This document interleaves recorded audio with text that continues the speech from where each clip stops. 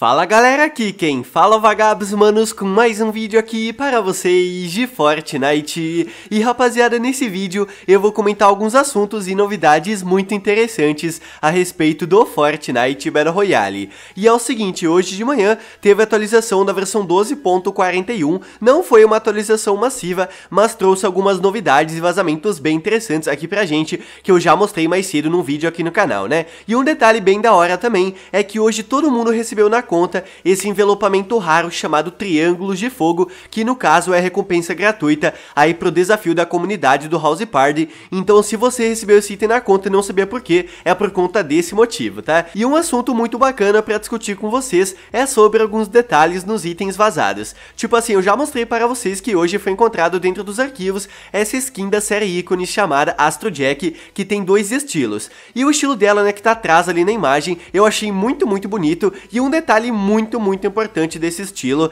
é que, como dá pra ver no rosto do personagem, tem o desenho do mapa antigo aí do Fortnite Battle Royale, o mapa do primeiro capítulo. Então já tem muitas pessoas teorizando que como o mapa apareceu agora aí no rosto dessa nova skin vazada, o mapa antigo, né, pode voltar. Só que, sinceramente, eu acho que essa teoria não tem muito cabimento só por conta desse detalhe na skin, tá ligado? Eu acho que foi apenas um detalhe interessante colocado pela Epic. Eu não acredito que o mapa antigo do jogo vai voltar, mas de qualquer forma, é claro, um assunto bem interessante para ser comentado aqui. E outro detalhe muito da hora, né, de um item vazado é nessa tela de carregamento do Travis Scott. Essa tela de carregamento, na verdade, é recompensa gratuita de um dos desafios do Travis Scott, né, que já foram liberados. Dá pra ver que do lado direito do Travis Scott tem o planeta Terra, né, vou dizer assim, ali com o formato, né, do mapa atual do jogo, o mapa desse capítulo 2. Só que se a gente colocar o mapa de hoje do game do lado dessa tela de carregamento, dá pra notar que tem algumas diferenças. O mapa da tela de carregamento dá pra ver que na agência tem uma pequena mudança, em bobinas traiçoeiras também tem uma mudança muito interessante,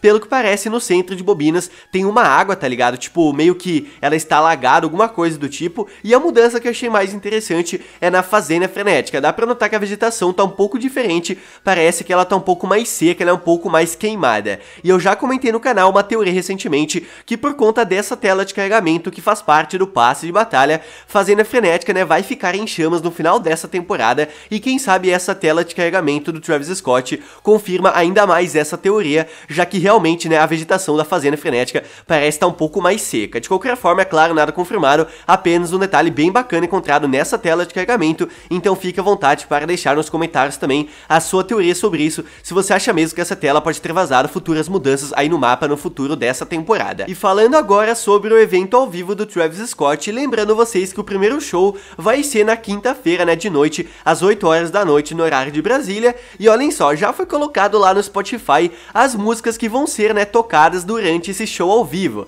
Como dá pra ver, né, várias músicas vão ser reproduzidas. Eu não tô mostrando todas elas, né, aí na tela, porque são muitas, realmente não cabem na tela todas. Então, se você quiser conferir, né, todas as músicas que vão tocar durante o show ao vivo no Fortnite, você pode encontrar lá no Spotify. Então, se você é fã do Travis Scott, com certeza vai ser um show, né, muito, muito insano pra você. Eu, sinceramente, não sou muito fã dele, tá ligado? Mas eu curto sim algumas músicas e eu acho que vai ser um show, né, muito insano. E um detalhe importante do evento ao vivo é que pelo jeito um pouco antes de cada show ao vivo acontecer, vai ser colocado no mapa uma contagem regressiva. Como dá pra ver na tela, a contagem vai ficar em cima do palco dele, que fica lá perto do litoral límpido, então se você for assistir um dos shows ao vivo, vai ter essa contagem regressiva no mapa, mostrando, né, o horário exato de cada show, assim você não vai perder, ok? E só pra encerrar aqui o assunto do evento ao vivo, eu quero falar de uma mecânica muito interessante que hoje foi encontrada dentro do dos arquivos que possivelmente vai ser lançada no game aí durante o show do Travis Scott. Olhem só, o Licker Fire Monkey encontrou dentro dos arquivos todas as etapas aí do show do Travis. Olhem só, vai ter a etapa chamada Coaster, Flames, Geometry, Goosebumps, Image, Local Comet, Local Light Streaks, Local Stars, Shockwave, Sliding, Sliding Streak Sprites, Teleporte, Underwater e Water.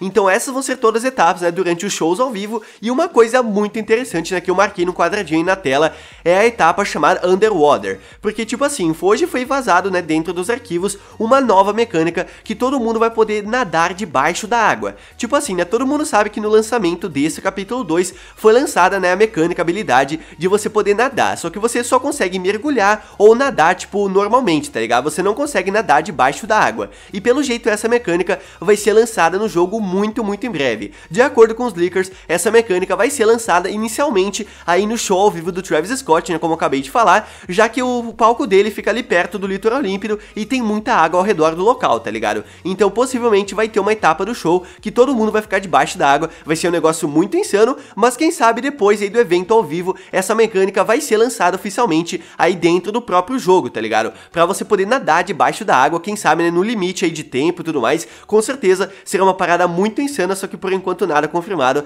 Se tiver outras informações sobre essa nova mecânica, eu vou trazer aqui no canal para vocês, beleza? E manos, olhem só, outro assunto que eu quero comentar com vocês é sobre a atualização 12.60. Uma coisa muito importante é que hoje foi encontrado dentro dos arquivos que a atualização 12.60 está sendo testada pela Epic Games. E se isso realmente acontecer, vai ser a primeira temporada na história do Fortnite Battle Royale que vai ter seis atualizações massivas. Tipo assim, né? Todo mundo sabe que essa temporada foi estendida até dia 4 de junho, então é uma temporada bem longa. Só que mesmo assim, a temporada passada foi ainda mais longa e não teve seis atualizações massivas, assim como pelo jeito essa temporada vai ter. Só que por enquanto nada confirmado, todo mundo sabe que nessa semana, né, hoje na verdade, lançou a atualização 12.41, então na próxima semana vai ser lançada 12.50, então pelo jeito no final dessa temporada vai ter atualização massiva 12.60 também. Isso mostra que realmente a Epic Games uh, trabalhou bastante nessa temporada, tá ligado? Tipo, na temporada passada, realmente a Epic Games não tinha lançado muitas coisas, não teve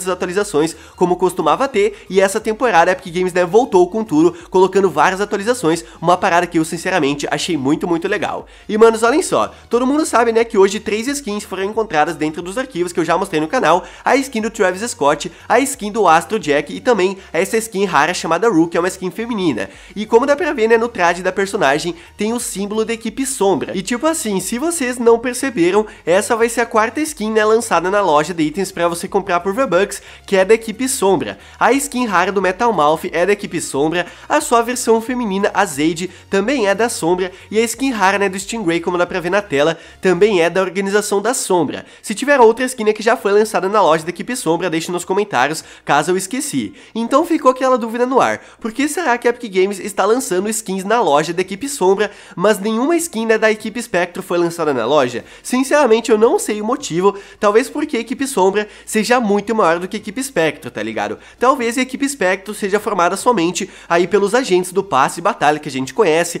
o Miausculo, o Brutus, a TNT, na Sky, o Midas e também o agente embananado Yamaya, de qualquer forma é apenas uma teoria, então se você tem alguma opinião sobre, sobre isso, por que será que a Epic Games está lançando apenas skins da equipe Sombra na loja, fique à vontade para deixarem nos comentários, tá? E por fim, gurizada, o último assunto que eu separei aqui no vídeo é sobre correções de bugs. Hoje na atualização 12.41, alguns bugs foram corrigidos, olhem só o que eles colocaram lá no site deles. Problemas solucionados aí no patch da versão 12.41. Problemas gerais, toque de ouro do Midas exibe envelopamentos em baixa resolução, Battle Royale, interface desaparece se o jogador cancela a ação. Prepare-se. No modo espectador, modo criativo, dar duplo clique em itens do baú pode causar travamento no jogo e mobile, carregar a minha ilha no modo criativo pode causar congelamento no jogo, então hoje todos esses bugs foram corrigidos. Aí dentro do Fortnite, beleza? E um bug que eu tenho certeza que muitas pessoas estão querendo saber se vai ser corrigido é da assistência de grupo nos desafios.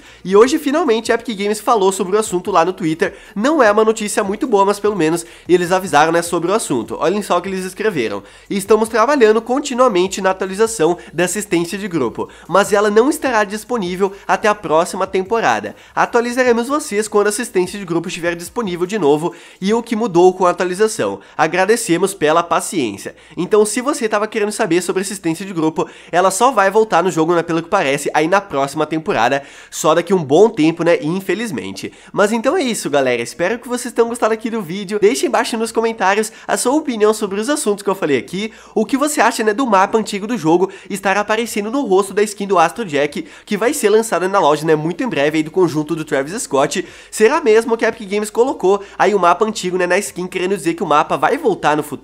Sinceramente, eu acho que não, mas como muitas pessoas estão né, comentando sobre isso, deixe embaixo nos comentários o que você acha disso também. E se você gostou do vídeo, manos, deixa o like porque não custa nada e me ajuda muito. E não se esqueça também de mandar esse vídeo pros seus amigos que adoram saber das notícias, novidades e tudo mais. E aquele seu amigo, né, que tá muito ansioso pro show ao vivo do Travis Scott dentro do jogo, pra ele ficar sabendo todos os detalhes vazados hoje, que pelo jeito vai ter uma nova mecânica pra você nadar debaixo da água, né, que vai ser lançado durante o show ao vivo, vai ser colocado uma uma contagem agressiva no mapa também, enfim, é pra todo mundo ficar sabendo dessas novidades aí do show ao vivo dessa semana, né, que com certeza vai ser muito legal. Então é isso, manos, aquele abraço, se vemos no próximo vídeo, valeu, falou, e eu fui!